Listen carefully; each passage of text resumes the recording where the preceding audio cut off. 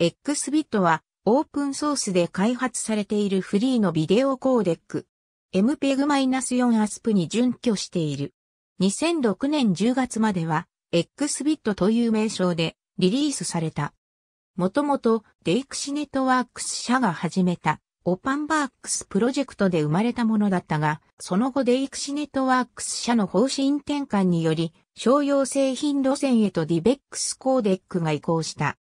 その際、このプロジェクトによって生み出された成果はそのまま商用コーデックに反映されたが、それに反発するプログラマーたちによってオープンソースで開発継続されたものがこの X ビットである。なお、 OpenDivX プロジェクトは現在開発停止状態にあり、こちらは DivX4.0 コーデックが元になっている。また、シグマデザインズ社が開発した RMP4 と呼ばれるコーデックにソースが投用されたこともある。MPEG-4 特許のライセンスを得ておらず、開発プロジェクトではソースコードのみの配布とすることで、ライセンス問題を回避している。ただし、日本においては、特許法第68条により、行としてバイナリの配布、利用を行わない限り特許権侵害には当たらない。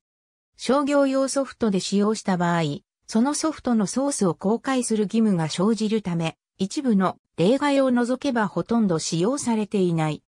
アクアプラス発売のパソコンゲームではその義務を知らずに、ライブラリーを使用していたことが判明したため、ゲームのソースコードを公開することが発売元より発表となった。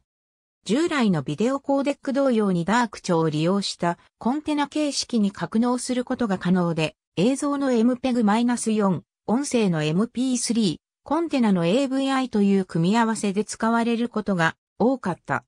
ただし、AVI では B フレームを扱うことができない仕様となっているので、GOP をパック処理するなどの工夫が必要となる。また、一部デコーダーでは先読みするなどで対応している例があるが、MKV などでデコードするよりも負荷がかかる傾向がある。用途により選択できる。